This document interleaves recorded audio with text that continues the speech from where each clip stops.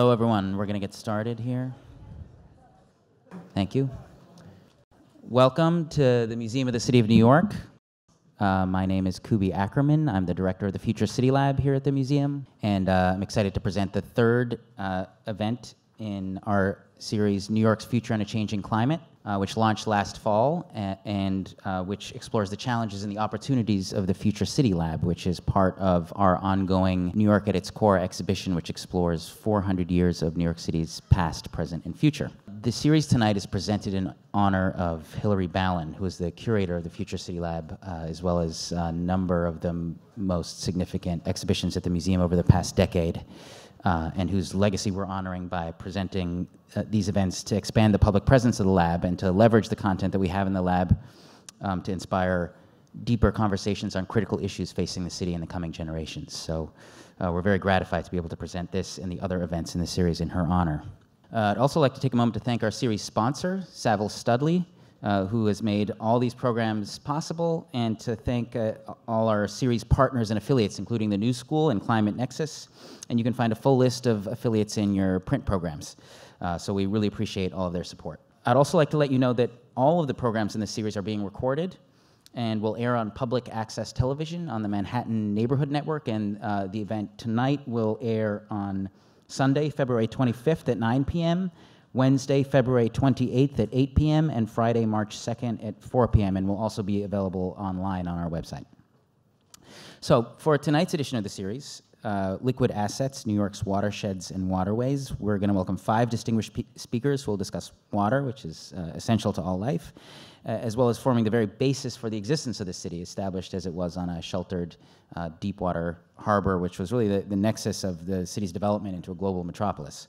Uh, and while it might seem a little bit odd or imprecise to conflate the city's watershed, which is the area of almost 2,000 square miles, uh, which, uh, from which uh, our water is collected and transported into our municipal water supply, with our waterways, which is the tidal estuary and the rivers that surround our almost 520 miles of coastline, which make us a coastal city.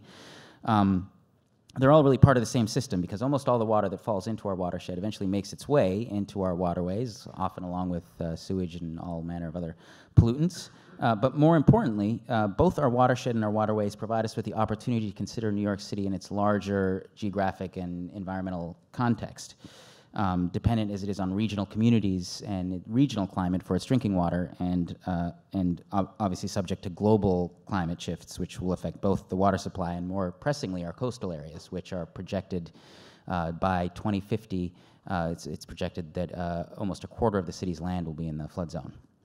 Um, and of course, these challenges impact different parts of the city and different communities in the city in very different ways. And so, uh, and we're very fortunate to have with us tonight some of the most qualified people in New York to help us unpack some of these important issues. Uh, I'd also like to invite you to join us for the next event in this series, which is Feeding the Apple, which will be a conversation between celebrated chef Dan Barber and New York Times reporter Julia Moskin on the future of food. So they'll be discussing. Um, uh, how we can transition it to more uh, sustainable and equitable food system, and what some, some of the most thought-provoking and provocative ideas for the future of food uh, in New York are. Uh, that event will take place on Wednesday, April 18th at 6.30 here at the museum, and you can register online at mcny.org forward slash future. So we hope to see you there. I would now like to introduce our moderator and our panelists. So our moderator is New York Times columnist Jim Dwyer, uh, who has spent most of his professional life covering the city as a reporter, a columnist, and author. He joined the Times in 2001 and has written the About New York column since 2007. Uh, he's the winner of the 1995 Pulitzer Prize for Commentary and a co recipient of the 1992 Pulitzer for Breaking News, as well as the author and co author of six books. And he'll be joined by our panelists.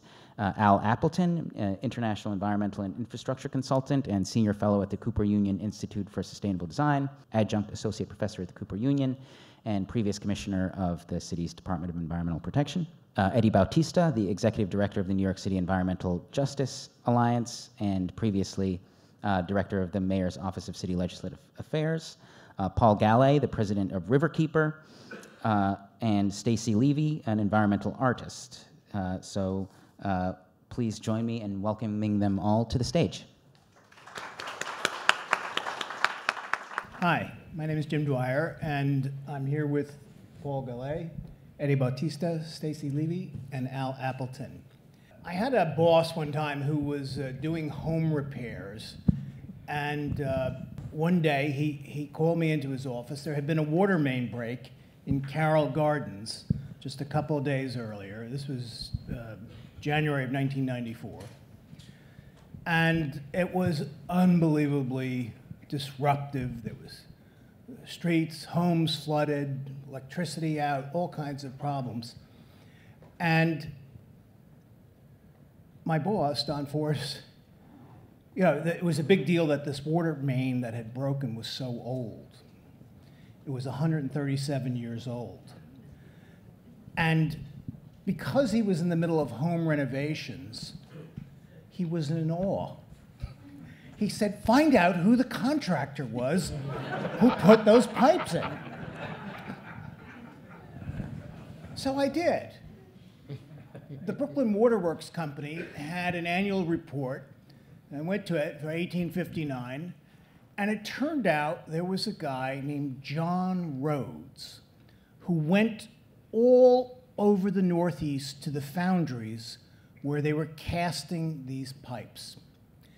And John Rhodes broke their chops like nobody's business. Every single piece of pipe that came out, he hit with a hammer to make sure it rang true. And I, if you don't mind my just peeking at this phone, I have some of the language uh, that, that he, he, he wrote. Um, on 5th of November 1857, I proceeded to the Warren Foundry and Machine Company, Rhodes wrote. The proportion of good pipes was so small as to create no inconsiderable excitement towards myself and very great apprehension among the stockholders of the, of the company. On, on that first day, uh, three rounds of pipes, 62 accepted, rejected 45. 19 accepted, rejected 34. Accepted 7, rejected 17. There isn't a single mention of John Rhodes anywhere online that I can find or in the history books. But New York exists today because of people like John Rhodes. And in the late 1830s, there was a good question about whether Manhattan Island would still be habitable in the coming years. The famous Collect Pond, which is down by Foley Square, maybe some of you have seen the Collect Pond park that's there now. Uh, once, I think, covered 40 acres and was surrounded by forest and all that. And, uh, but by the early 19th century, it had, and it had been the original great source of water for uh, pre 19th century New York, but it had been completely fouled with sewage, with industrial, there was tanneries that were throwing their hides in there and their mercury and whatever else they were doing. And really was a very bad shortage of water, even though this island was alive with water, completely burbling with water. But they were, all the waterways were being used basically as sewage uh, ways. We needed fresh water, or they, but we, their heirs, needed it too. We just didn't know it yet. And into this uh, came um, an engineer whose name is going to come right back to me John B. Jervis. And he dammed up the Croton River in Westchester. And about 40 miles north was this big reservoir. And he had to get it to Manhattan.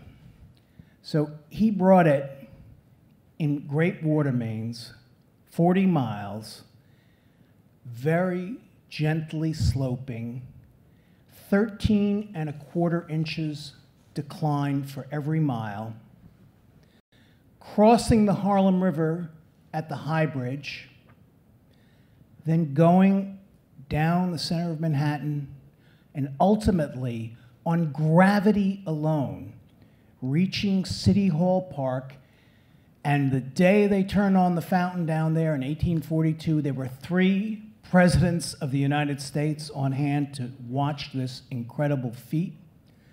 The geyser of water rose 50 feet in the air on pure gravity, having traveled 50 miles, more than that. This was gravity's own geyser. There's a lot to say about water. Al Appleton is one of the John Rhodes of our era. He worked uh, in the city government uh, for two stints, once with Mayor Lindsay and once under Mayor Dinkins as the Commissioner of the Department of Environmental Protection. The Department of Environmental Protection brings the water into the city and then gets it out because it's got to, what comes in must go out. And Al, when you left government in 1993 at the end of Mayor Dinkins' term, uh, there were about seven and a quarter, seven and a half million people.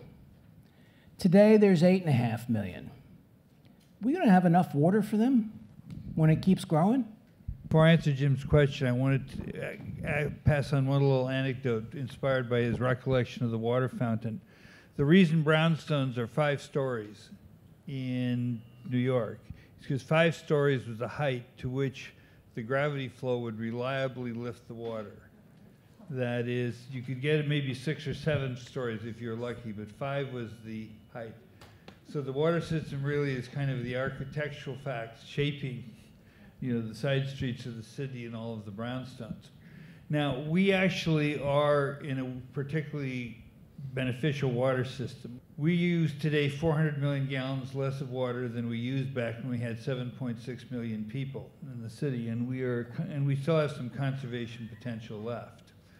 That I'd say, in terms of the many global cities I've looked at, New York City is the best position to ride out global warming in terms of water supply. I mean, the waterways are a different story, as we will hear and see in some of the memos. Um, we are we are in good shape water-wise. We have a 200 million gallon a day surplus um, that we can that we can ride on, and global warming is going to increase precipitation in the New York area. So we're not facing some of the droughts cities like Cape Town are facing, um, which maybe we'll get a chance to talk a little bit more about later. So the water system in New York is an incredible asset.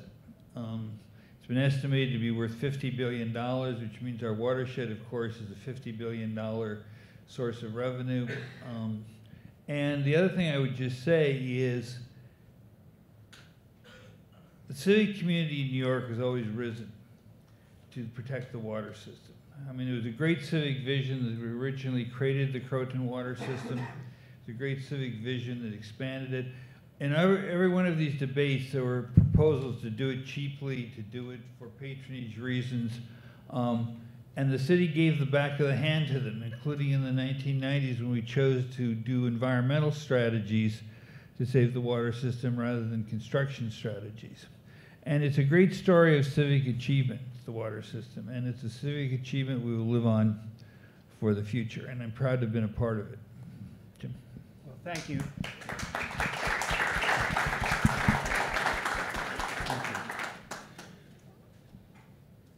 One of the great enemies of the city uh, before we had a reliable fresh water system was called Vibrio cholerae, cholera.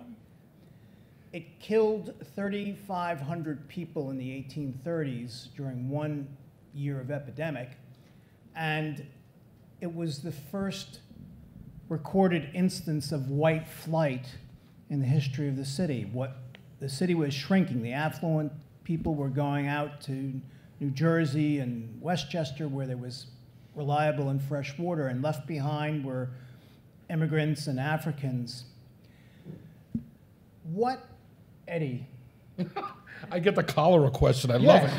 Yeah. Okay. What, what, what do you do without Imodium? You know, uh, uh, no. What, environmental justice today, we think everybody has it because everybody can turn on a tap and, and get good water out of it. And that is, of course, a great force in our city and allows people to, you, know, you don't have to move to Westchester to get a drink of water.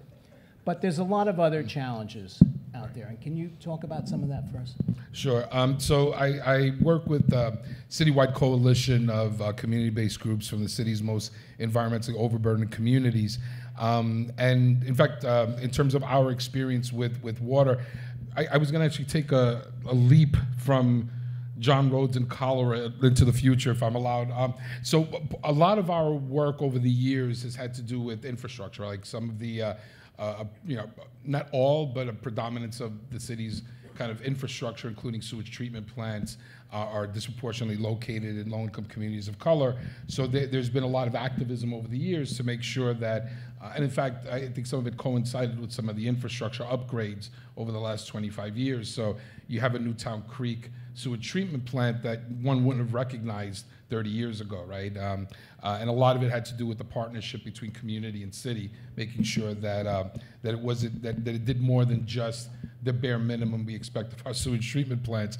Um, but if you look at, for example, our combined sewer overflows, our CSOs, um, uh, over 70% of, of New Yorkers that live within, say, a half a mile of CSOs are people of color, right? So, um, but let me take a, a, step forward in terms of how we came at the, the our most recent um, waterfront advocacy, which has to do with climate change and, and storm surge resiliency. Yeah. Before you get there, sure. could I just ask you to explain the combined sewer overflow system, just the, just for some folks who might be, not understand what it is? Gotcha. So, so New York and, and a lot of northeastern cities are uh, cities that combine our sewer functions, right? So both our uh, when it rains a lot, um, it goes through the sewers, as well as when we go to the bathroom, it goes to the same. So it's a combined, literally combined sewer overflow. Um, I'm not doing, I'm not giving proper poetry to it like Al or, or Paul can, but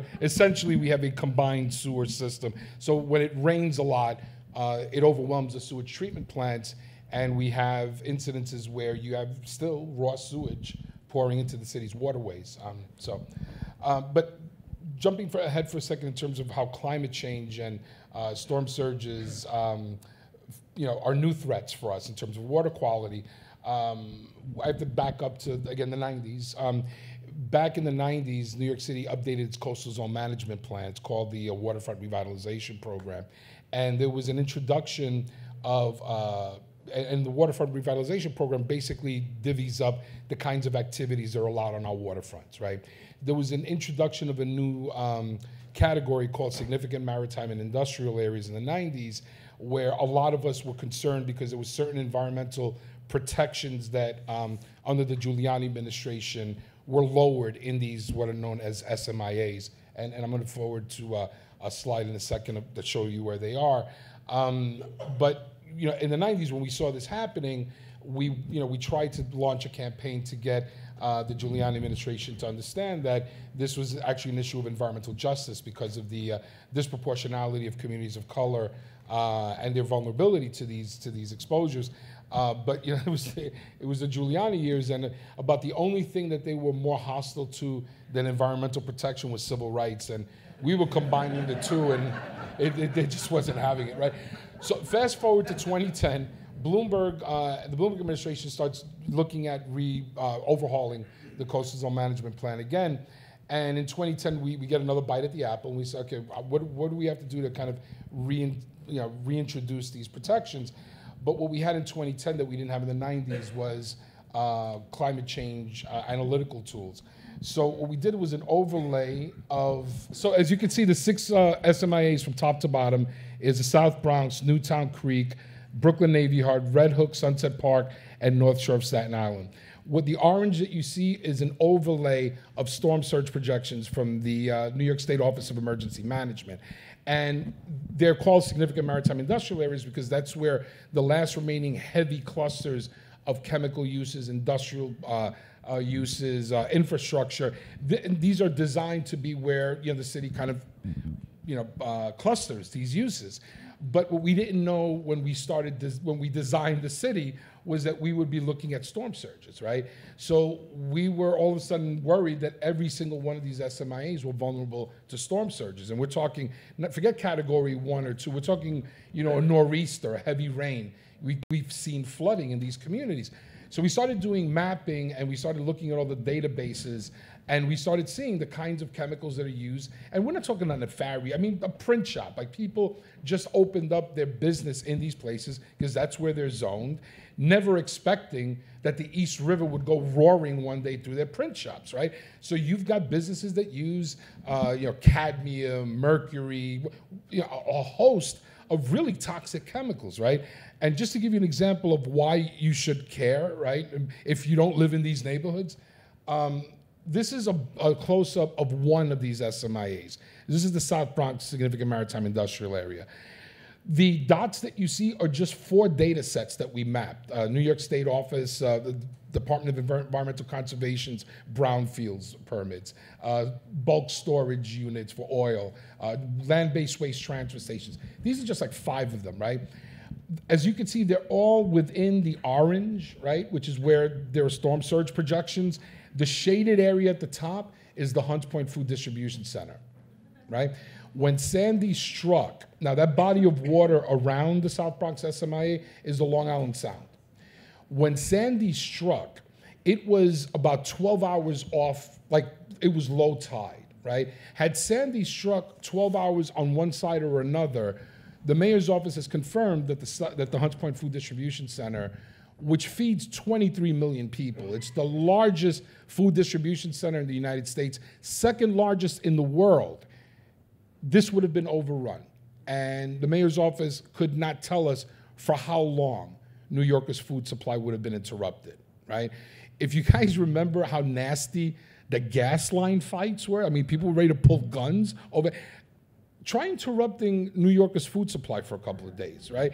So, and, and again, it's a, it's a food distribution center surrounded by heavy chemical uses, right? we, we did a preliminary uh, analysis, and something like 622,000 New Yorkers live within a half a mile of these SMIAs. It's about the population of Washington, D.C., right? Of those 622,000, 433,000 are people of color. So, and, and, there are there are a variety of different kind of data sets that we could show, but this is one that for us has become uh, a clear and present danger. We've been doing a lot of coastal resiliency advocacy um, in the event of you know, can we find ways to make these waterfronts more resilient without driving out the industry because we consider ourselves industrial retention advocates. So it's a real kind of wicked problem. How do we retain these uses but make them more resilient in a time of climate change? So this is like a water quality problem that, you know, that's why we want to bring Al back so he could figure out like how to. That's, that's Thanks, Eddie. Um, the uh, um, governor of New York, once upon a time, made the following statement. The river from Troy to the south of Albany is one great septic tank that has been rendered useless for water supply, for swimming, or to support the rich fish life that once abounded there. And that governor was Nelson Rockefeller, and he was speaking in 1965. Paul worked for the state and Environmental Protection Agency, and he's now the head of Riverkeeper, which has been a ferocious advocate for quality of the Hudson and the restoration of other waterways and the protection of others. What would Rockefeller say today about the Hudson, Paul? He would say he does not recognize it and he has no idea how it got the way it is today. And the answer, the answers are several. The answers are the Clean Water Act of 1972.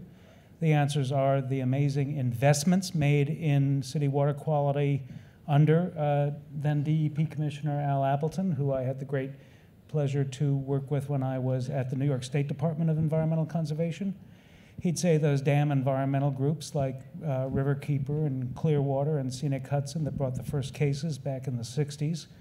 Uh, and he'd say the increase in the number of people who look out at the river instead of away from the river, because as those of you who are students of city history know, the waterfronts are now owned by the residents of New York for the first time. It was the maritime industry during the break bulk era that owned the waterfronts before the last several decades. The idea that Riverkeeper, my organization, after 50 years of work, has been able to convince the state of New York, and uh, the state of New York uh, Department of Environmental Conservation is now run by Basil Seggos. Basil Seggos was at Riverkeeper when I was at the New York State Department of Environmental Conservation, so every once in a while we get on the phone and we practice one another's lines.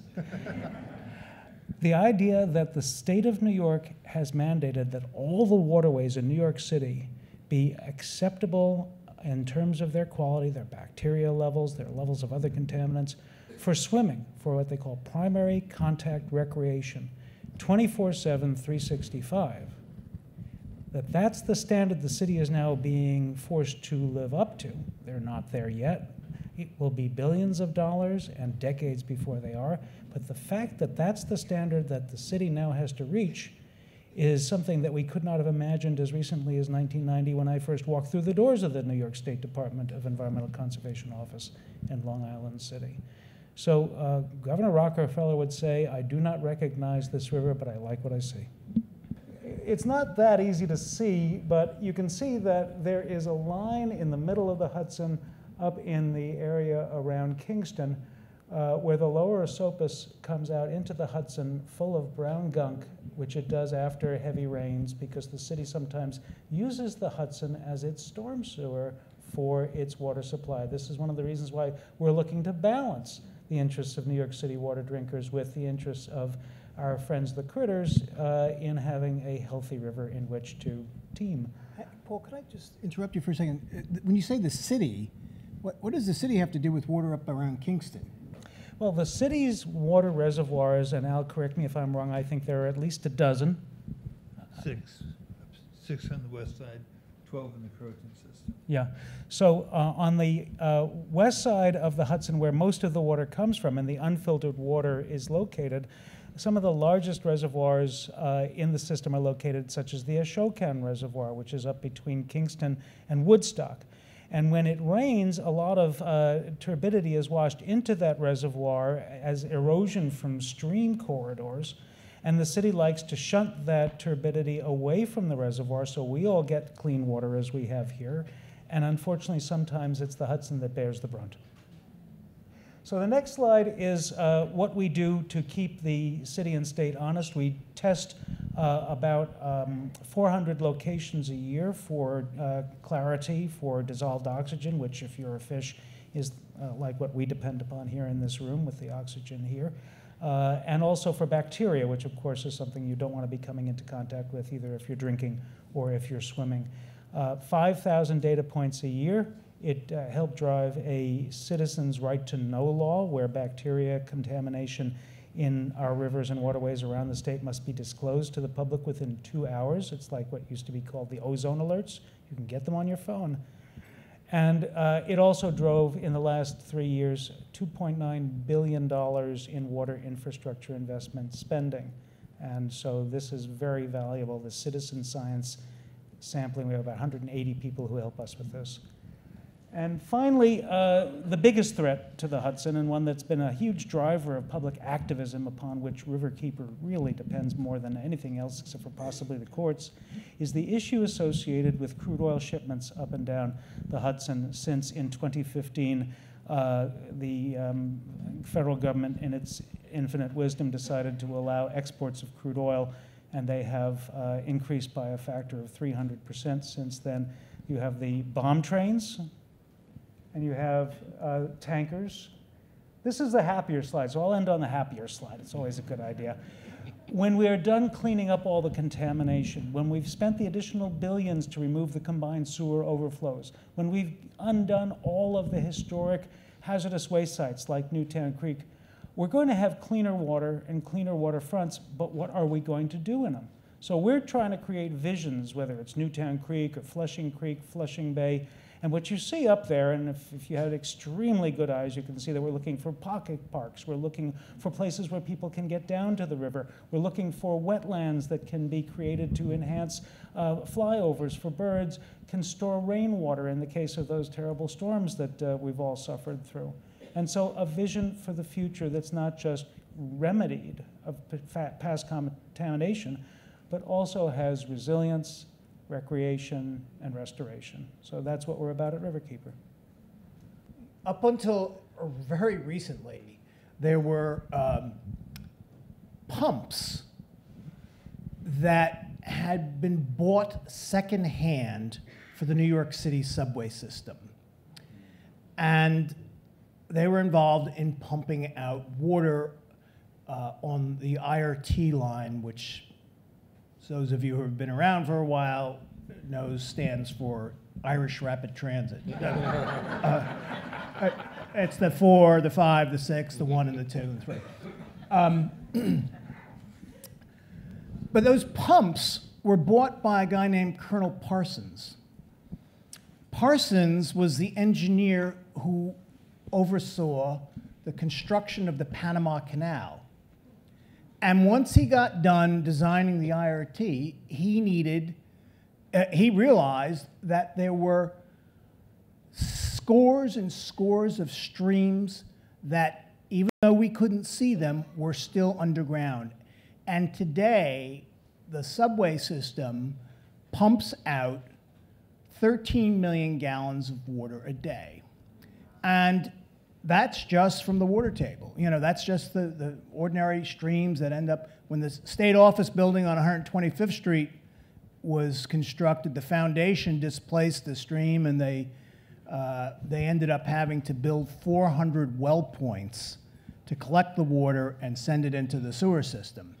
So one of the most magical things I've heard about in the last few years was a project that I consider like a doctor palpating your veins. You know, when you get a, a shot and they want to get a vein, they tap on your arm. And uh, Stacy Levy is an artist who is extremely inventive and brought a group and has brought groups around the city several times to find those underground streams, to palpate the sidewalk and uh, paint or chalk. Well, tell, tell us about it.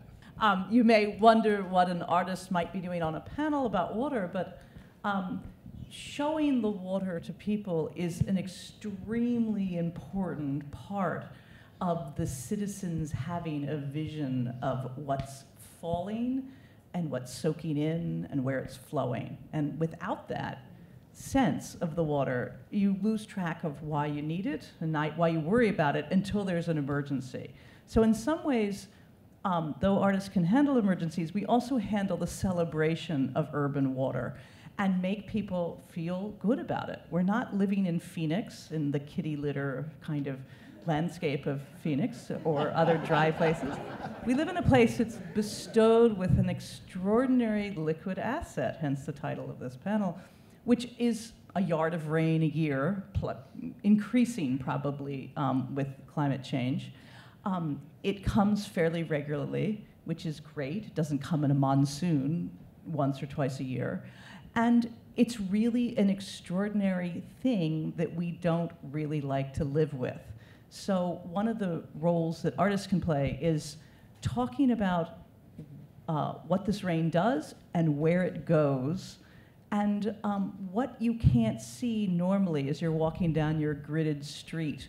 I think one of the very wonderful things about cities, particularly older cities that have a fair bit of rain and so have watersheds that are still alive under the urban grid. And this idea that you can be on the grid and there's water underneath is an extraordinary sense of connection to the natural world and a kind of vertigo of, of time where we have this present day of very perpendicular streets and this past of a dendritic system that's alive and still pumping under, under our, our urban grid. And that kind of sense of connection through time to nature is powerful and gives us a great, a different sense about our city. It's not just us as we're walking down the street, it's not just our structure. There's actually a whole natural force going on. And I think that's a, an important thing to be connected to.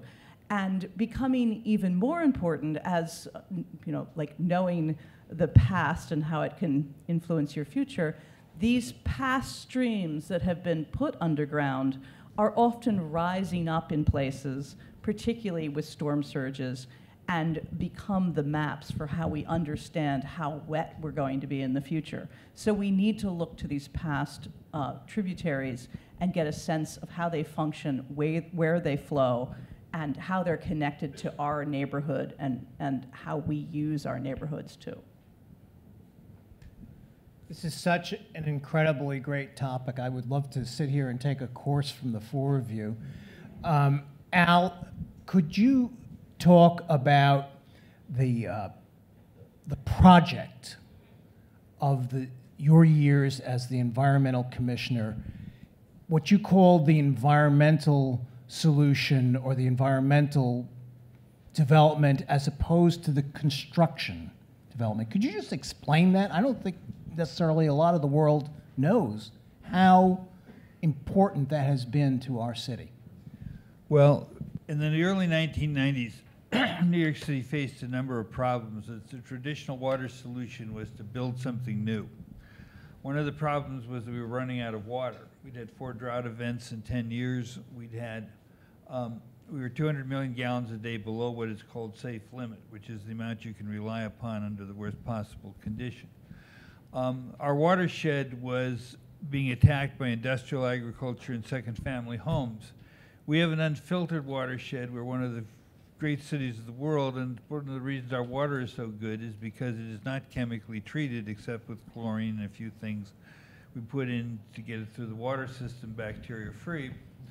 Um, there were places like Staten Island where we were suffering from problems of floodwater and stormwater. And again, the traditional solution was to build a lot of things. But we were already building so much, and this was an environmental justice issue, a big one of the time that the water rates had been going up over 10% a year for seven years, and that they were threatening the budgets of the affordable housing, which, as those of you know, are based on very narrow calculations of cash flow and profitability. So basically, it seemed to me, um, and I used to have some wonderful friends in the Catskills and would go up to the Catskills and look at the one. And it seemed to me really stupid to allow things to get polluted, get ruined, and then spend billions of dollars coming up with a solution.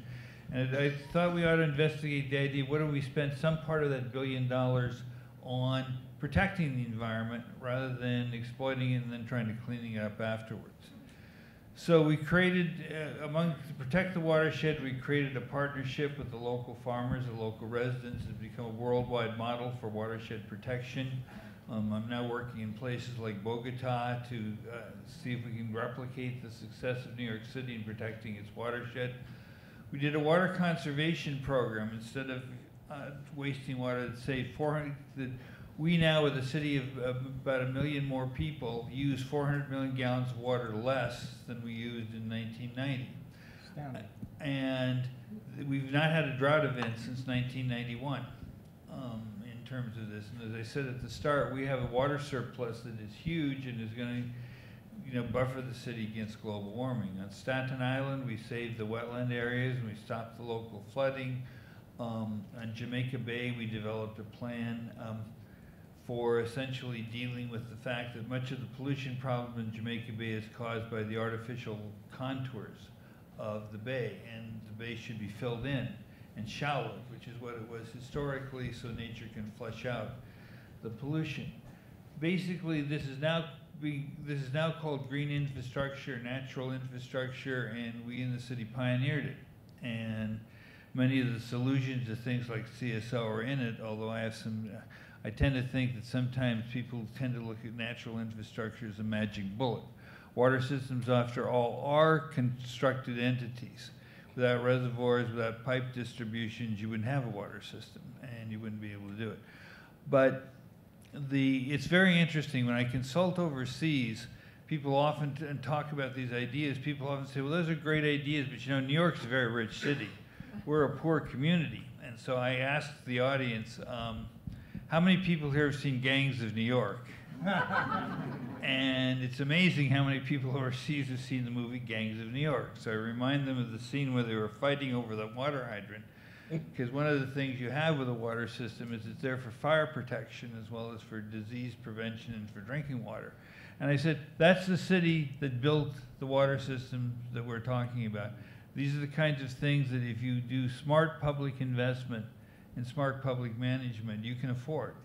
You can always afford to do the right thing. One of the things I remember the Giuliani people once told me, real men don't talk about the environment. so to which I said, well, you know, real men talk about money. And using the environment saved the city of New York. We ended our we ended the runaway water rates. We saved like $10 billion in capital construction.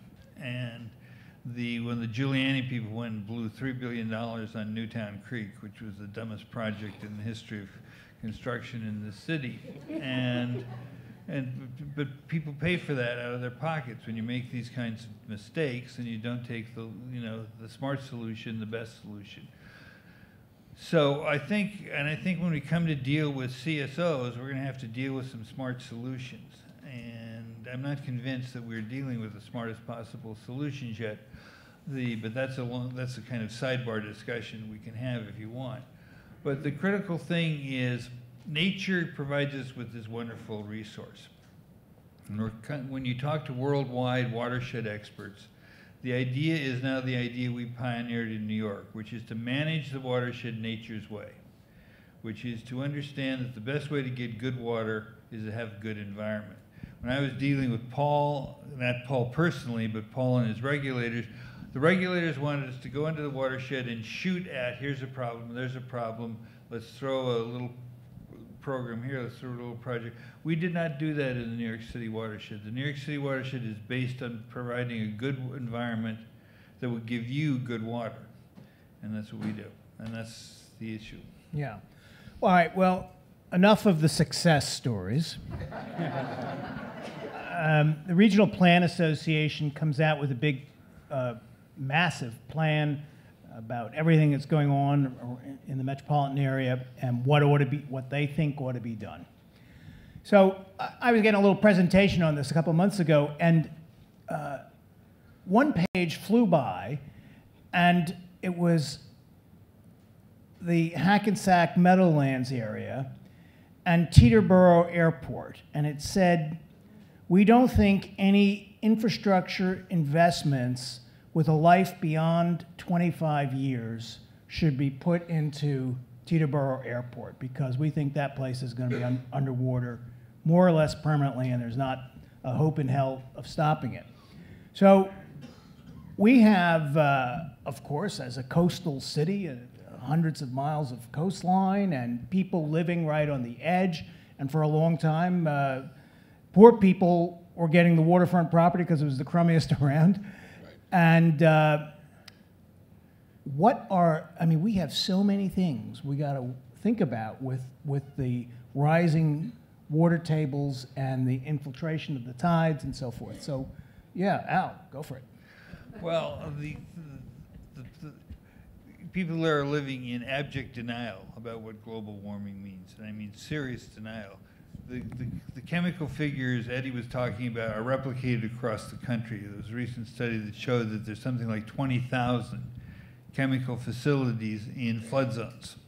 Um, you know, if you look at the response to Sandy, the city and the state just blundered around. Um, it was kind of flavor of the month. Everyone's pet idea became an answer to Sandy, and that was how we were going to sell it. There is no coherent planning about. RP is right we should not be building apartments in flood zones in the Rockaways. We should not be siting important infrastructure and transportation infrastructure in areas that, unless we do something significant about global warming, will, will be underwater. Um, it, it's simple mathematics. The, if all the ice in the earth melted and all the ice in the world is on track to melt over the next 150 years, if you get thermal expansion of the oceans, you're looking at 250 feet of ocean rise. Now, all we need is about six to swamp one quarter of New York. Um, all of the storm outlets are three and a half feet above mean sea level. So if you get something, you're going to get backed up storm sewers all over the city of New York. That's the kind of, we have infrastructure in flood zones, we have pumping stations, we have outfalls. Um, we are not ready. Sandy should have been a wake-up call, but it wasn't. Because basically we got bogged down in the issue, what are we going to do about rebuilding in the coastal zone? And that's a complicated problem. It's a complicated problem for communities that already exist. It's not a complicated problem for future construction. We shouldn't be building there. End of story. Um, we're, New York is projected, if we get another Sandy event with ocean rise, to have $200 billion of flood damage. That is the third highest city in the world, behind Miami and Guangzhou in China. Um, the, but people don't want to face these realities. The real estate industry wants its views of the harbor. Um, the communities that you know want to pretend that this won't happen again or somehow we're going to rebuild it. The federal flood insurance program is already um, incredible. We, we lost $95 billion this year in global warming related storm events. We could have done an awful lot of interesting things with that $95 billion. But until we have a coherent strategy for dealing with what we're going to put in the flood zone, we're doomed. Um, we're going to waste tens and tens of billions of dollars. The other thing I have to say is New York City and New York State together have the wimpiest global warming energy policy um, that kind of exists on the planet. But that I'll just toss that out as a teaser. Here comes the hand grenade, huh? Paul? So, uh, listen, there's, there's only so much reality people can handle without having a sense of the possibilities for making a difference about it. We have more reality than we can handle on this issue by a factor of 10. So we better figure out how to change that math. We better figure out how to activate. I mean, who ever heard of a standing room only crowd talking about water resource management on a rainy Thursday night? Apparently, this is a much more sexy issue than I ever thought it to be. We have thousands of people who commented on those bomb trains that I showed you. We had 250,000 people who commented on fracking regulations in New York State. The Coast Guard never saw 10,000 uh, comments on anything that they proposed when the anchorages came out. And the DEC never saw 250,000 comments on the fracking regs. And the last I looked, fracking is not happening in New York. And yes, you can applaud now. and, and while we're on the topic of things where change that did not seem possible previously, that reality seemed to just have us poleaxed, Indian Point Nuclear Plant, which is long past its expiration date, is closing in two years. And whoever saw that as happening, this plant is increasingly dangerous. And it's going to put more pressure on us to site renewable energy. We can't solve the carbon loading problem by ourselves, but we are one of the richest cities in one of the richest countries in the world. And if we're not doing it, who is going to? If we're not setting examples for citizen action, keeping fossil fuels in the ground, moving to renewable energy, who's going to do that? So if, if each of you tells two people, and they each tell two people, really, citizen activism is, in the words of Margaret Mead, the only thing that changes the world. It has to be thoughtful and dedicated. So thoughtful, dedicated action is the only hope we have. Yes, but I want to mention one thing about Indian Point. Having been launched one of the first safety proceedings in 1982 with New York City Audubon Society, Indian Point is great. There are four nuclear plants upstate that the governor. Great that we're closing it, or great because you want it to stay open? No, it's great because it's closing. But.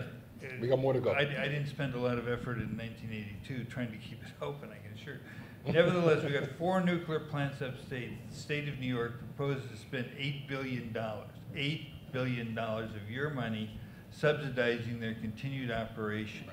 That $8 billion could pay for much of the green energy system Paul was talking about.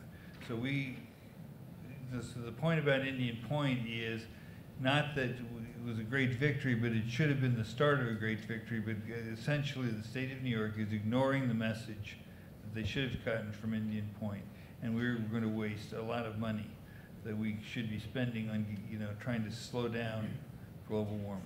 And just to make a quick point about the, the co-benefits of, of green infrastructure. Uh, by the way, after Sandy, uh, the mayor's office confirmed that about half of the um, uh, about half of the industrial firms that were impacted by Sandy along the Brooklyn Queens waterfronts were industrial firms, right? Uh, there, there were there were a couple of spills at power plants. To, to my knowledge, there was no assessment done afterwards about any potential exposures. In fact, one of the things that we learned after the fact was, uh, especially in environmental justice communities with a lot of brownfields and Superfund sites, was uh, we wanted to get a sense, well, you know, with, with around Newtown Creek, Superfund site, was, was there any contamination as a result of it? And what we were told was, well, you needed to do pre-event testing of your local uh, uh, land because we don't know if the pollution was created by Sandy or if your neighbor was already so screwed up. It was already pollu- so like we, we, we were in this kind of odd place and we have to determine just how screwed up we are to then find out how screwed we got after the event. But but in terms of the green infrastructure piece people keep forgetting that the storm surge stuff is is what is the is the sexier that's not even the right word but it, it gets all the attention when it talks when we talk about climate change because it's so dramatic right? It, it happens. You can count the kind of people that, that, that get killed as a result of it. But more people die because of heat waves every year than and what's interesting about about uh, green infrastructure is that it provides co- co-benefits it can help us in key parts of the waterfront in terms of storm surge project, projection. It can also help us with urban heat island effect, right? What people don't know is that right now, if you look at the number of people that die every year from heat-related deaths, it's about 150. This is based on on, on, on, on city numbers, right? And I've seen two reports with two different sets of numbers, so we're trying to get to the bottom of that. But by the 2050s, we're hearing that the number of 90 de- degree days are expected to double. The number of heat waves are expected to triple and quadruple.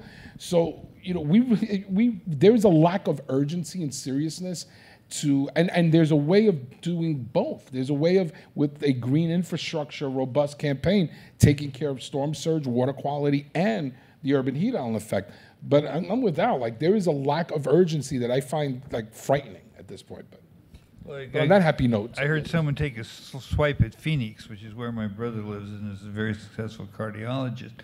But in Phoenix, if you go to, at the height of the day, nobody's on the streets. They're cuddled up to their air conditioners because they active. You want to play tennis, you play it at 11 at night.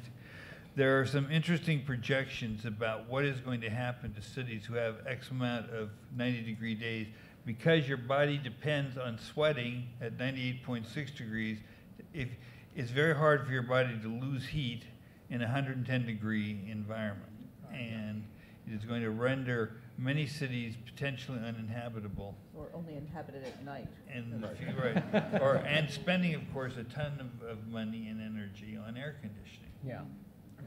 Stacy, uh, in, in your work, uh, the, the, the reality or the looming realities, or how does that emerge in your, in your projects?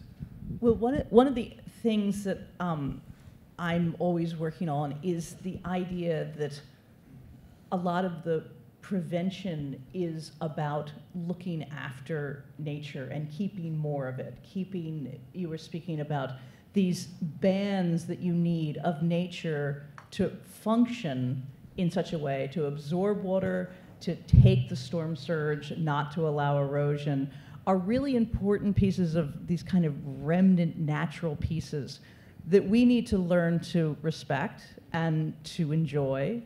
And um, we've not really been, um, our minds have not, have always sort of thought about pristine nature, and we need to learn to love urban nature with all its detriments, and there will be plastic bags caught in it, and um, but it's still the nature that we have. And one of the things that's very important is to know that transitional natural areas are going to be the most essential natural areas for us.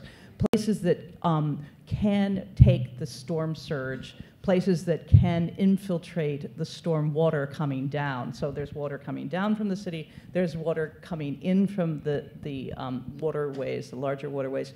Some kind of landscape needs to be the in between absorber of all of those kind of um, natural and unnatural phenomenon. And so we really need to embrace a soggy landscape, a landscape that can get wet and stay wet for a while and then slowly dry out. And that's the kind of place in urban nature that we need to make people feel like that's a good thing, not a sort of yucky area in the backyard that they want to drain or fill. So this new kind of landscape that's going to come out of um, resilience is about the transitional landscape, the soggy, mushy kind of places. And I think that my job is trying to get people to love those sort of places. Okay, folks, in, a, in another sec, minute or so, we're going to take some questions. Uh, it'll be a Q&A session, so remember your part is the Q. okay, and Paul's got uh, a couple of things to say. So, but meanwhile, tee up the questions in your head. So we're talking about the New York City watershed, and the New York City watershed is one of the truly most eh, well engineered and well cared for water systems in the world. There are another 9 million people in New York drinking the rest of the water, and Riverkeeper for a long time was only focused on the New York City drinking water. I want us all to realize that we need to be focused on the entire drinking water system. And I was earlier uh, this afternoon with a group of seven municipalities uh, with very exotic foreign sounding names like Poughkeepsie and Hyde Park. And they've all banded together because 100,000 people in New York I know that doesn't sound like very much, it's like half of a neighborhood here, but 100,000 people take their drinking water directly from the Hudson every day. New York City, in times of drought, will take some of its water from the Hudson.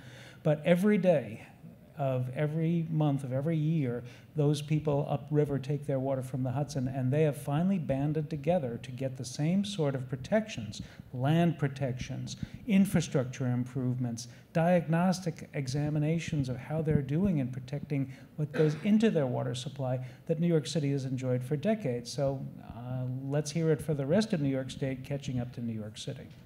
What about Westchester Airport and how it could or is affecting Kensico Reservoir? Well, how it could is the more important question. We actually we actually chased some of those people out of there 25 years ago. Basically, airports are terrible places to be next to watersheds because they have all sorts of chemicals that are essentially wa- essentially washed into the storm sewer. The basically the city of New York and the state of New York are going to have to do something about the proposals to expand Westchester Airport because they will have very bad implications for Kensico. And you obviously know that Kensico is the most important reservoir in the New York City water system because it is the receiving part of that system. So that's the last one before the water. Co- all the other s- systems feed into Kensico, and then then it comes down here. Right. So if you if you if you protect it all the way, and then you pollute it down at Kensico, the last couple of yards, you're killing yourself. fully fully strategy, exactly Yes. right. The now the we we we did some things in the 1990s to secure Kensico, but the late unlamented county executive of Westchester, who fortunately has been changed by the votes of the people, he was clearly indifferent to the these concerns, and we're going and the city will have to do something about it and face up to that. If it, if it intends to be expanded, so Well, you're you got yeah. your finger on the pulse. So I grew up right on the Kensico Reservoir, uh, on the um, elegantly named Nannahagan Road. It's the place where I learned to fish. It's the place that I identify with the New York City water supply system. And it is exactly as, as important as Jim and Al have said it is. And there are two airports I want to talk about. The Westchester County Airport, uh, you need to deal with the storage of the firefighting foam uh, and you need to deal with the storage of the ethylene glycol, and you need to reduce the impacts of those contaminants and others off-site. Uh, New York's uh, Port Authority uh, manages the uh, Stewart Airport, I believe, uh, up in Newburgh on the other side of the river. And it has an Air National Guard base as well. They did not manage the firefighting foam, and for 20 years, the people of Newburgh, 30,000 people, were drinking poisoned water because of the PFOF. PFOS contaminant that was coming out of the leaking tanks for the firefighting foam. And now Newburgh is on city water, at least temporarily, while the state of New York has had to build a $70 million filtration system for that water supply. So uh, when I was with the New York State Department of Environmental Conservation, Al's right, we didn't always get it right, but there were 4,200 of us working to get it right with a smaller population and absolutely no consciousness of climate change. 4,200 people in 1990, and in the year of uh, our Lord 2018, that 4,200 has become 2,800. So we need to rebuild our capacity to enforce our laws to keep what's in these airports that we depend on from leaking out into the water that we depend on. Right, and this is not, the- these are not the only airports. There are airports in Long Island that have exactly the same problem. Gabreski Airport, for example, by Southampton, uh, has been a huge, you know, pollutant of these Yeah. chemicals sinking into the groundwater. This question is for Stacy. Stacy, we didn't an opportunity to, to see some of your slides tonight of your work. So I was wondering if it's possible to see some of them very quickly? Um, I'm from Philadelphia, so many of them are taking place in, um, in Pennsylvania, in both uh, Philadelphia and Pittsburgh. Um, and they're all about introducing people to their watershed and talking also not just about making people aware of their watersheds, but also ways of um, small solutions that art can do, because art actually can do some work on the site. Um, so there should be an underline under artwork. And um, they actually, some of my projects, there's, that's the New York project. Actually, that was in Brooklyn and Gowanus. And that's on, that's in Gowanus too, with um, NYC H2O, a, a project where we painted uh, the, the tr- trace of the stream which is running under these streets as a way of making people aware. Painted with very temporary chalk paint, so it washed away with the rain, which I think is very poetic that the rain takes care of its own, um, but gives a sense of what's, uh, what is flowing under your grid. Um, Um, yeah. I, I, I'm glad you mentioned NYCH2O, which is a great organization um, in the dealing with uh, city water systems. You, when we quickly, I have a question. Could you revisit a conversation we had last year in which you talked about the turbulence and how those patterns repeat themselves in nature? Oh, the, well, turbulence is a, an extraordinary thing. Is this, this is on.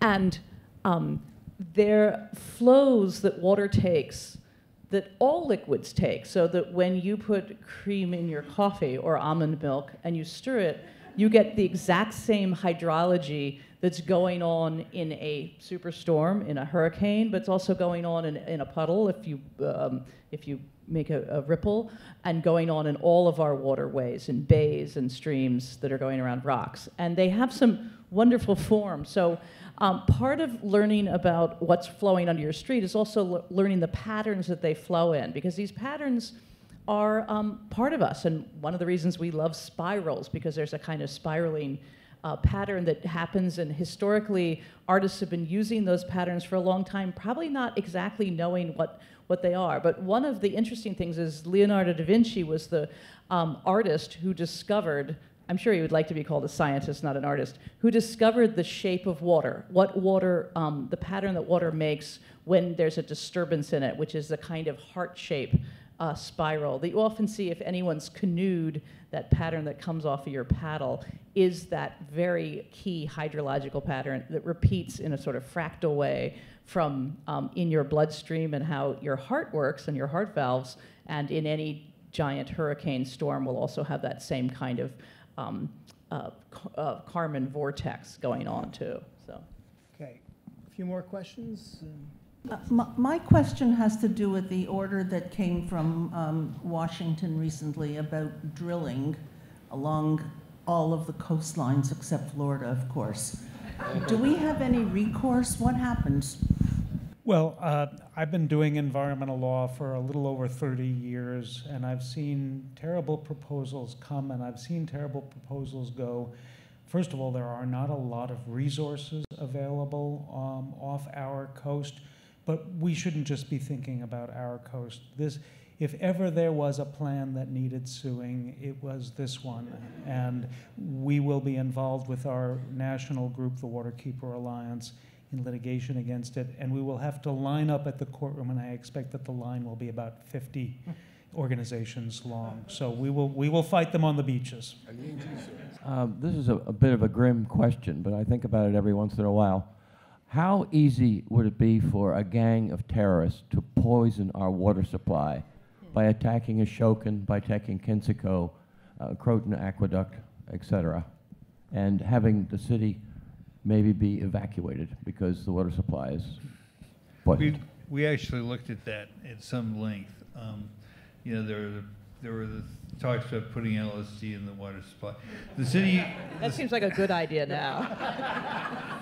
the amount of water the city of New York uses makes it very difficult to envision somebody kind of just pouring a jug of stuff in the water. You'd have to back up a few tanker trucks, um, very big tanker trucks. And most of, most of the potential chemical pollutants, I mean, there's some ways you could attack the, the system, but I never actually talk about those in public. Um, the, but the kind of, the scenario of some terrorist kind of dumping stuff in the, the, in the Ashokan Reservoir. Um, first of all, the city has ten thousand monitoring points, and we'd catch it pretty quickly. And second of all, um, the amount of water, a billion gallons of water a day dilutes a lot of stuff. And the, the city of New York now basically uses, as opposed to 1.5 billion gallons a day, we use 1.50 million gallons a day of water. So that's a lot, of- that dilutes a lot of things, and we catch it. Um, I say, we've looked at the scenario. I don't, nobody should, in the face of serious terrorism, take, be overly sanguine or overly, uh, you know, poly, um, Pollyannish, but it would be tough, it would be tough to do. I, I just have a quick aside. So, as a, as a result of some of this research that we were doing in terms of the industrial waterfront's vulnerability to storm surge in the chemical clusters, we have a partnership going on with the Rand Corporation. Talk about taking LSD, man. The Rand Corporation. Anyway, so we we have this study going on looking at specifically auto shops, and we went to DEP to ask, you know, we want to know, get specific you know, uh, exposures of chemical, specific chemicals with specific industries. And we were denied, even after we used the community right to know law, uh, which means that the community has a right to know. We were rejected by DEP because of terrorist concerns. And we had a meeting because I couldn't believe it. And they were like, well, we can't let this information out because if a terrorist wanted to target one of these industrial facilities on the waterfront to contaminate the water, I said, what kind of like mad, like if you're a terrorist, there's so many other options that you have if you want to endanger people. I don't think like, you know, getting a, an auto shop's chemicals into the water of the East River is kind of like the long vision that terrorists have when it comes. So, eh, eh, so it's my little aside about how DEP takes at least some of this stuff to an uber, no pun intended, serious kind of thing about this that, that we need to have access to some of this information and we can't get it because of security concerns. So uh, I, I think we're going to uh, wrap it up now. And I, I want to say that there's a library that contains uh, both some uh, warnings from the past, but hope as well. And it's a, a sedimentary library. It's the sediment in the Central Park Lake. And it was tested some years back. They went down and took layers. And what they found was lead levels, decade by decade, very much in keeping with what was happening in the city in terms of industrial pollution and also residential pollution. We were incinerating our garbage, apartment houses all over New York. Everyone was just burning their garbage. When I was a kid, I remember the, the stuff coming down. Uh, and that's not happening anymore. And that record is one uh, you know, once they got up towards the top layers of that sediment, there wasn't lead in it anymore. So things can turn around and change, but you got to keep an eye on them. So thanks a lot for coming. Thank you.